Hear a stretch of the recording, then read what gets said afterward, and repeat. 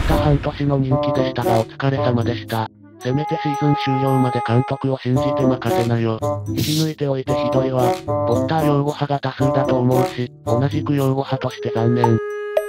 ブライトンでは無名選手が多い中でも0から1を作ったプロフェッサー。しかしチェルシーでの役割は5から10を作るエンジニアまで任せられていたからコーチ陣にも難しい道だと思う。一気に老け込んだ気がしてかわいそうだったわ。ブライトンが波に乗ってる時に無理やり引き抜いたくせに。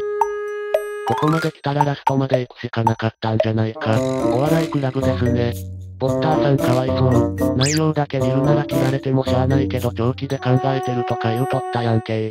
ひどすぎる。ターブライトン見たらよかったのにお疲れ様でした。ブライトンからのステップアップが早すぎる。デゼルビ取ったらぶっ飛ばすぞ。なんかポッターかわいそうに思えてきた。ちょっと早くね。どんだけ前のオーナーが優秀やったかわかる。スパーズに行こう。ナーゲルスマンと交換でもしたいんか。チェルシーサポーターだけど今シーズン情報量多すぎてやばいわ。勝利のところ半分くらい CL なの受ける。よし、レスター一滴席の残留から来季優勝や。涙がポッター、ポッター。ポッタ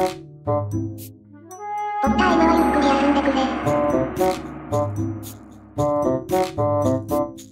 チャンネル登録、高評価、よろしくお願いします。